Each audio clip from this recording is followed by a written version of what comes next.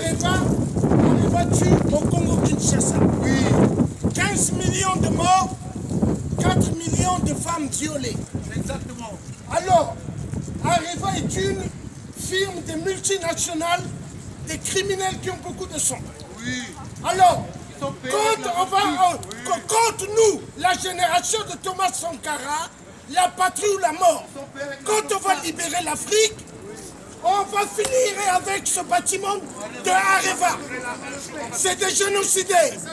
Ils tuent, ils violent le Congo démocratique. Ils violent des enfants. C'est des pédophiles. Ils violent des grandes mères. Ils violent des grands-pères. Ils tuent. Alors, en 2017, François Hollande sera dans la poubelle.